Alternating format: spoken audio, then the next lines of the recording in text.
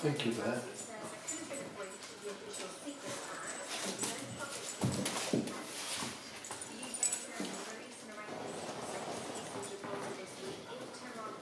Moved over the chair.